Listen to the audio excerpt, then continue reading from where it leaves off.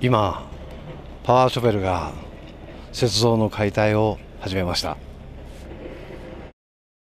昨日閉幕した札幌雪まつり。3連休最終日の今日は多くの人たちが見守る中大雪像の解体作業が行われました。せっかく頑張って作ったのに壊壊しちゃってちょっとかわいそうだな1週間でなくなっちゃうからこそ価値があってみんな全国から見に来るのかなと思いました。今年の雪まつりの来場者数は238万9000人と去年よりおよそ4割増えコロナ前に迫るまで回復しました。おとといからは中国などの旧正月春節の大型連休がスタートこの場所すごい人ですね。函館朝市のイカの釣り堀なんですがこちらぐるっと取り囲むように50人ぐらいが行列を作っています。函館朝市は春節と3連休が重なり多くの観光客でにぎわっていました。刺身 good It's good? Very good. What eating? uh squid. Uh イカ and uh, crab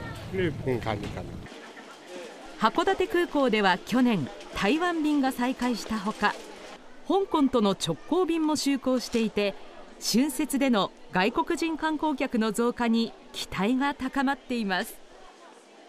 私たちもあの久々に今 あのにぎわいを味わってますけど懐かしいですよ本当に国際線の到着ロビーにはたくさんの外国人観光客が続々と入ってきます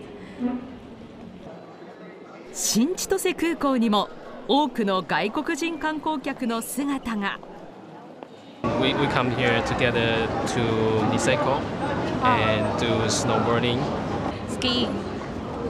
3,000 USD dollars. Probably like that.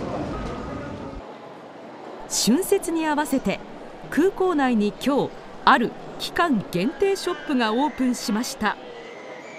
新千歳空港の国際線にこちらのジャンプのポップアップストアが開催されました。海外に人気なキャラクターもたくさん集まっています。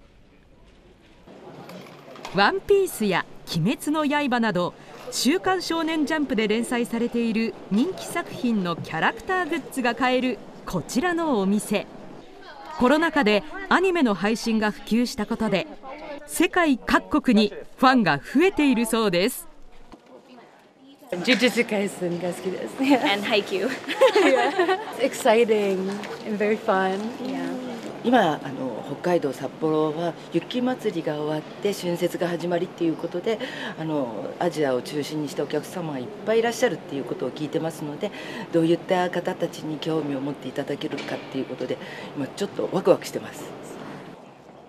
外国人にも大人気のポップアップジャンプキャラクターズストアは5月12日まで開催されています。